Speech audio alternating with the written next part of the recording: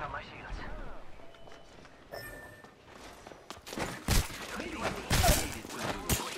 You got this, bro. You can do this.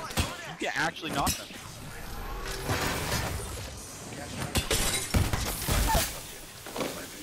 Yo.